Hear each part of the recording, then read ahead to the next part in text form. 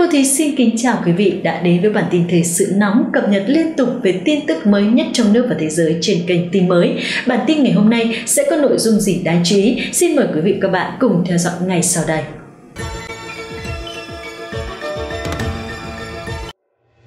Chào mừng các bạn đã quay trở lại với bản tin của tin mới. Trong bản tin ngày hôm nay, các bạn thân mến, tin mới sẽ mang đến cho quý vị và các bạn nội dung sau. Kính thưa quý vị khán giả, trong những năm trở lại đây, các thảm họa thường xuyên xảy ra khắp nơi trên thế giới với đủ mọi hình thức khác nhau. Nó tàn phá và để lại hậu quả tổn thất hết sức nặng nề cho con người. Theo các chuyên gia cho biết, nguyên nhân gây ra thảm họa thiên tai chính là do sự biến đổi khí hậu ngày càng khắc nghiệt và cực đoan.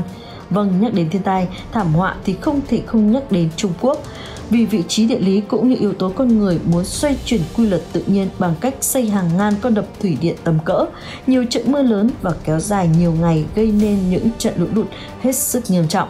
Và theo các nhà khoa học chuyên nghiên cứu về thiên tai cho hay, đất nước Trung Quốc năm nay lũ lụt và thậm chí là động đất diễn ra nghiêm trọng tại các tỉnh và thành phố phía đông và miền trung của Trung Quốc.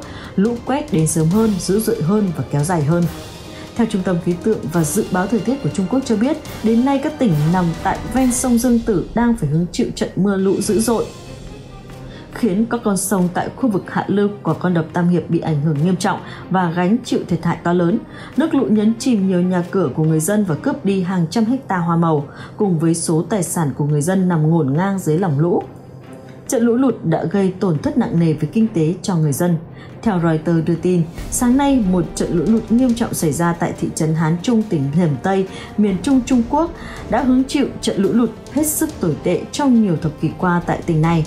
Sau một trận mưa rông kéo dài 3 ngày liên tiếp đã nhấn chìm toàn bộ nhà cửa, đường xá trong thành phố, khiến người dân trong thị trấn còng mình chạy lũ để bảo toàn tính mạng. Giờ đây, việc lũ lụt tại đất nước Trung Quốc không còn gì xa lạ đối với người dân Trung Quốc nói chung và 27 tỉnh thành và các khu vực khác tại Trung Quốc nói riêng. Dòng nước lũ ngày một xối xả dữ tợn, cuốn trôi nhiều ô tô và nhà cửa của người dân. Nhóm phóng viên của chúng tôi có mặt tại hiện trường ghi lại hình ảnh cho thấy dòng nước lũ đang cuồn cuộn tàn phá và nuốt trôi tài sản của người dân. Khoảng 12.000 người dân trong thành phố đã phải sơ tán lên vùng cao hơn để giữ an toàn. Bởi với tình hình như hiện nay, trời mưa chưa có dấu hiệu dừng lại và đang còn tiếp diễn phức tạp trong mấy ngày tới. Chính vì thế, công tác cứu trợ tại khu vực này xảy ra thảm họa đang gặp vấn đề vô cùng khó khăn. Các nhân viên cứu hộ dùng xuồng cỡ lớn và cố gắng đưa những nạn nhân mắc kẹt trên mái nhà và các tòa nhà cao tầng khác. Cho đến sáng nay chưa có con số thống kê nào được báo cáo thiệt hại về người. Theo đó, tại thị trấn Lưu Bá nằm trên cạnh thị trấn Hán Trung cũng chịu ảnh hưởng lũ lụt tương tự. Nước lũ cuồn cuộn tràn xuống qua các con phố có độ dốc cao đã cuốn trôi hàng trăm chiếc ô tô chất thành đống tại một ngã tư, cuốn toàn bộ mọi thứ lên trên vỉa hè và bất cứ thứ gì có mặt trên đường đi của nó trước sự bàng hoàng và run sợ của người dân đang quan sát từ cửa sổ tầng trên của một tòa nhà cao tầng. Hiện vẫn chưa có ước tính chính xác về con số thiệt hại, nhưng theo các giới chức tại địa phương, tổng thiệt hại là không hề nhỏ. Các hình ảnh về lũ lụt cũng được đài truyền hình địa phương đưa tin. Thời điểm hiện tại, nỗi lo lớn nhất của các cư dân sinh sống tại khu vực hạ lưu sông Dương Tử đều đang hướng về con đập Tam Hiệp. Với tần suất cao kỷ lục của lượng mưa lũ trong mấy ngày qua từ các con sông đang đổ về con đập lớn nhất thế giới ngày một tăng cao, việc khiến cho con đập quá tải và phải đối mặt với nguy cơ bị vỡ lúc nào là điều khiến cho người dân đang hoang mang bởi một khi lượng nước mưa kéo dài và tập trung dồn về hồ chứa Tam Hiệp, việc bị vỡ là khó tránh khỏi. Đập Tam Hiệp dù có bền bỉ tới đâu cũng không chịu được một lượng nước khổng lồ ngày đêm tràn xuống và phá vỡ kết cấu của con đập. Có thể nhiều người không cảm nhận được mối nguy hiểm và sự bất an này, nhưng nếu chúng ta xây thêm một con đập khổng lồ với lượng nước hàng triệu mét khối mỗi giây, chắc chắn chúng ta sẽ có đồng cảm với sự hoang mang và lo sợ của những người dân sinh sống tại khu vực với hạ lưu con đập Tam Hiệp. Trong suốt từ đầu tháng 4 tới nay, băng tan tại phía Tây bồi thêm các trận mưa lớn liên tục kéo dài, gây ra các trận lũ lụt tại Trung Quốc đã khiến hàng ngàn người thiệt mạng hoặc mất tích. Điều đó cũng đồng nghĩa với việc đẩy lượng nước lũ đổ về sông Dương Tử ngày một tăng cao và trực tiếp uy hiếp đến cuộc sống của người dân trong mùa mưa lũ năm nay. Vào sáng hôm nay, theo Trung tâm khí tượng và dự báo thời tiết của Trung Quốc cho biết các trận mưa lớn sẽ tiếp tục diễn ra tại các tỉnh An Huy, Hồ Nam, Hồ Bắc và Giang Tây, cần đề phòng để có thể có một trận lụt đáng sợ hơn nữa sẽ xảy ra. Do lượng mưa không ngừng tiếp tục gây áp lực lên con đập Tam Hiệp ở trên thượng nguồn của sông Dương Tử thuộc thành phố Vũ Hán, tỉnh Hồ Bắc, theo Tân Hoa Xã đã dự báo tốc độ dòng chảy trong hồ chứa phía sau đập đạt kỷ lục trong năm ở mức cao kỷ lục 82.000 m khối mỗi giây. Các đoạn đê của con sông Dương Tử, Hồ Bắc và các nơi khác đã bị vỡ do dòng lũ liên tục diễn ra.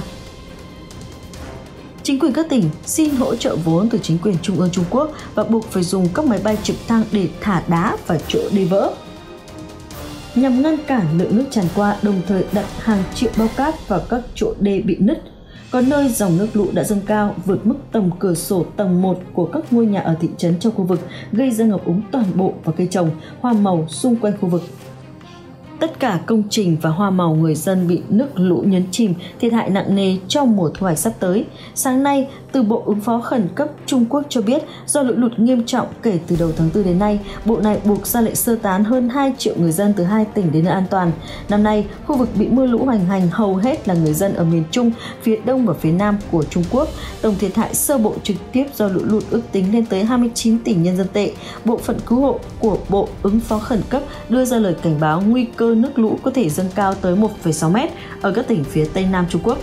Theo Tân Hoa Xã đưa tin, mưa lớn đã gây ra 3 trận lở đất tại một thị trấn vùng núi Trùng Khánh thuộc khu vực thượng nguồn sông Dương Tử đã khiến 3 người thiệt mạng và 5 người khác mất tích. Một thập kỷ trở lại đây, những trận lũ lụt đang diễn ra với tần suất dày đặc và xuất hiện ở hầu hết các khu vực các tỉnh phía Nam của Trung Quốc, đặc biệt là khu vực miền Trung và miền Nam. Vào năm nay, khu vực phía đông Trung Quốc cũng đã xảy ra trận mưa khủng khiếp và cơn bão Inva cũng đã xuất hiện hồi tháng 7 năm ngoái và cơn bão Lupit ở đầu tháng 5 năm 2012 này. Nó đã tàn phá các tỉnh thành phố phía đông của Trung Quốc đều phải hứng chịu những thiệt hại nặng nề do cơn bão để lại.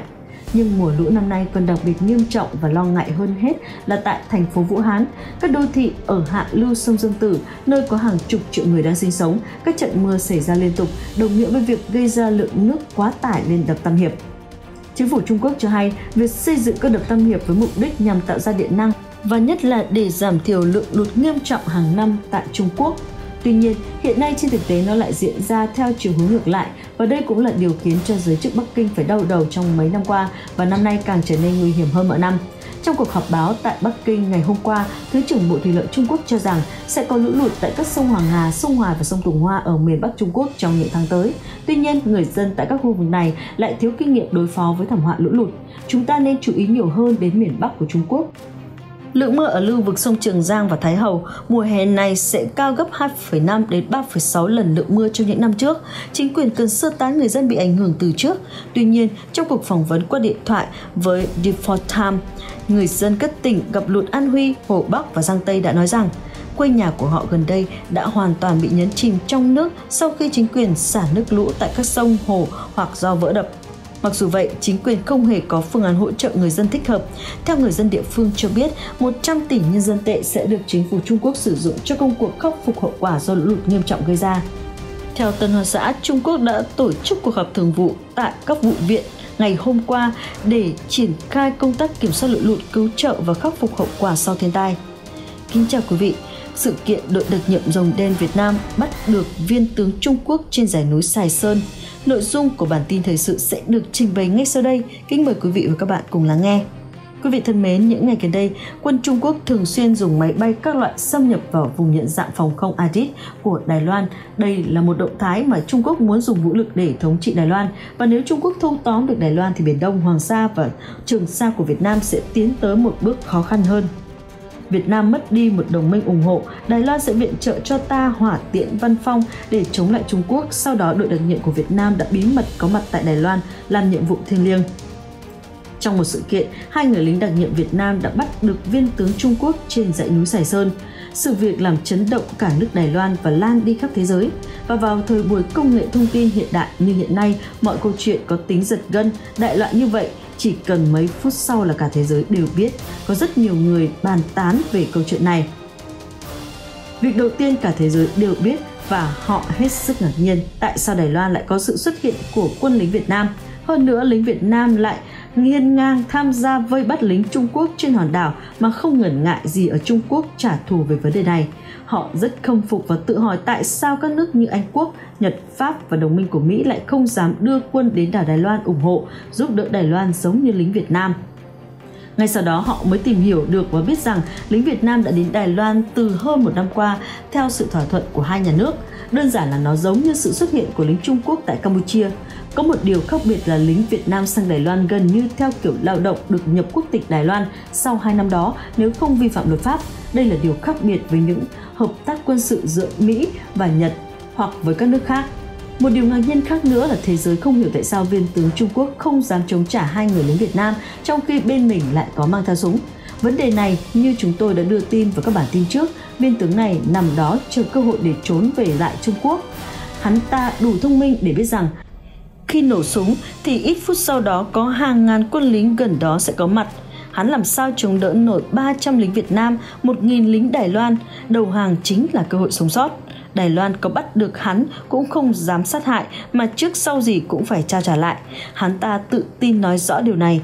Khi bị bắt, hắn khai mình là thiếu tướng quân báo quân đoàn 5 người Trung Quốc đang bao vây khắp hòn đảo và chỉ chờ cơ hội thuận lợi là ra tay sát hại một viên tướng. Có cách nào tự trước lấy chiến tranh hay nói cách khác sập bẫy người Trung Quốc? Chính vì vậy mà khi về đến căn cứ quân sự ở Cao Hùng, hắn cười tươi như hoa, không ai nghĩ rằng hắn ta đang làm tù binh.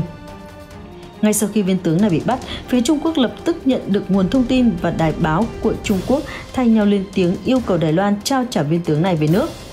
Vương Liêu chính là tên của viên tướng này được báo chí Trung Quốc nhắc đến.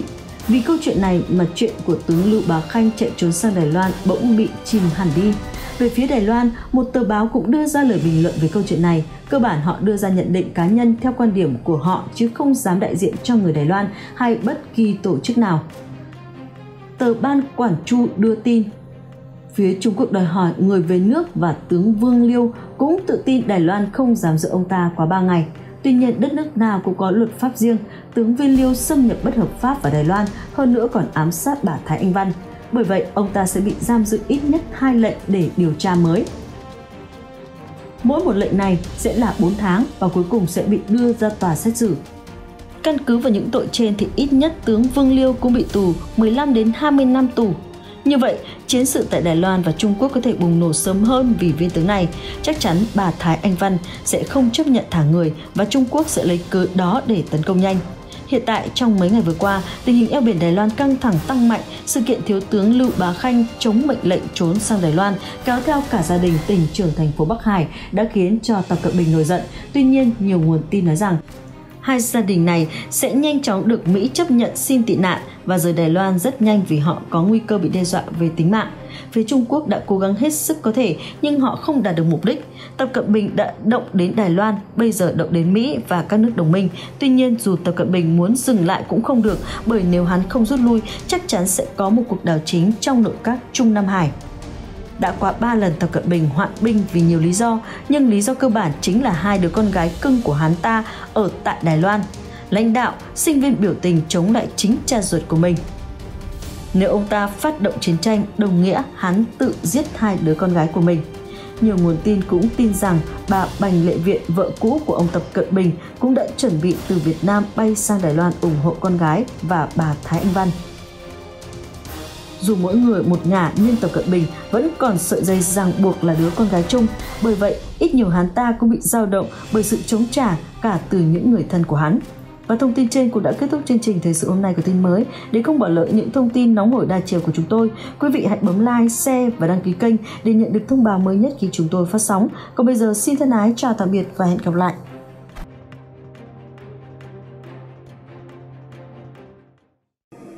Cảm ơn quý vị và các bạn đã chú ý theo dõi. Mọi ý kiến đóng góp của quý vị hãy để lại trong phần bình luận video này để chúng tôi có thể kịp thời giải đáp những thắc mắc giúp quý vị. Nếu quý vị thấy hay thì hãy ấn like và nhấn biểu tượng chuông phía dưới để không bỏ lỡ những video mới nhất của ban biên tập chúng tôi nhé. Hẹn gặp lại quý vị trong bản tin tiếp theo của tình mới.